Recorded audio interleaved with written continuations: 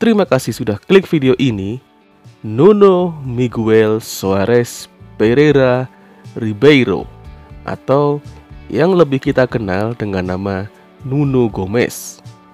Lahir 5 Juli 1976. Adalah pemain sepak bola Portugal yang bermain sebagai striker. Nuno Gomes dianggap sebagai salah satu striker hebat Portugal pada tahun 90-an dan 2000-an. Nuno Gomes mampu menjadi pemain penghubung yang baik dan dia tipikal striker yang rajin. Hal itu bisa dilihat dari jumlah assist sepanjang karirnya. Nuno Gomes melakukan debutnya di tim Boa Vista di Liga Primeira Portugal pada musim 94-95. Pada usia 18 tahun, Nuno Gomes mendapatkan trofi pertamanya. Dia mencetak satu gol dalam kemenangan 3-2 di final. Di tahun 97, Nuno Gomes kemudian pindah ke Benfica. Prestasi Nuno Gomes saat memperkuat Benfica meningkat dan di sinilah nama Nuno Gomes mulai dikenal sebagai striker yang tajam. Setelah tiga musim di Benfica, di mana dia mencetak 60 gol dalam 100 pertandingan. Melihat penampilan Nuno Gomes di ajang Euro tahun 2000, Fiorentina tertarik merekrut Nuno Gomes yang kebetulan saat itu Fiorentina mencari striker handal. Nuno Gomes memenangkan Coppa Italia bersama Fiorentina dengan mengalahkan Parma di tahun pertamanya. Dengan mencetak gol dalam hasil imbang 1-1 di leg kedua final di kandang yang membuat timnya meraih gelar dengan agregat 2-1.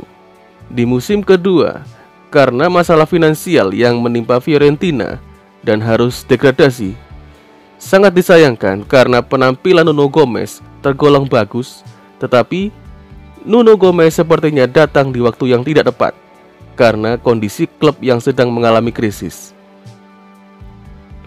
Di musim berikutnya, Nuno Gomez kemudian kembali ke Benfica. Masalah cedera pada Nuno Gomez yang membuat penampilannya tidak semaksimal sebelumnya. Bermain tidak sampai 70 pertandingan dari tahun 2002 hingga tahun 2005. Tetapi ia masih bisa membantu Benfica memenangkan piala domestik. Nuno Gomes bermain di tim Benfica hingga tahun 2011 setelah klub memutuskan untuk tidak memperpanjang kontraknya. Nuno Gomes kemudian pindah ke Braga. Meskipun sebagian besar sebagai cadangan, tapi Nuno Gomes bila diberi kesempatan bermain, dia bisa membuktikan kualitasnya dengan mencetak 6 gol dari 20 pertandingan. Pada tanggal 3 Juli tahun 2012, Nuno Gomez pindah ke Blackburn Rovers. Tetapi tidak sampai 2 tahun, Nuno Gomez diputus kontraknya dan Blackburn Rovers menjadi tim terakhir yang dia bela sebelum memutuskan pensiun.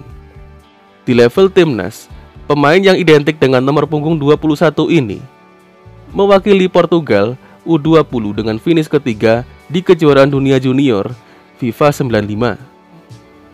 Tahun berikutnya, ia tampil di Olimpiade musim panas tahun 96. Nuno Gomez melakukan debutnya di tim senior pada usia 19 tahun. Dalam pertandingan persahabatan melawan Prancis di tahun 96. Dia mencetak gol pertamanya di pertandingan pembukaan Portugal di UEFA Euro 2000. Nuno Gomes membantu Portugal lolos ke Piala Dunia tahun 2002 dan Euro 2004. Penurunan performa Nuno Gomes terjadi karena cedera. Kondisi semakin sulit di saat pelatih lebih memilih Pauleta sebagai striker bahkan di kualifikasi Piala Dunia 2006.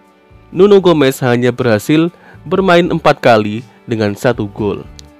Setelah penunjukan Carlos Queiroz, mantan asisten Alex Ferguson, sebagai pelatih.